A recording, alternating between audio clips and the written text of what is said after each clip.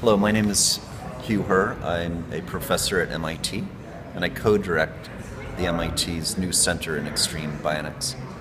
Um, at the center, we build body parts, bionic platforms out of biologic and synthetic materials. Um, these systems are becoming so advanced that um, even though I'm missing my biological legs, uh, through the use of bionics, I'm able to do what I want to do in life. Walk normally, I, I run, I play tennis, I do whatever I want to do. Uh, and in fact, I'm no longer disabled.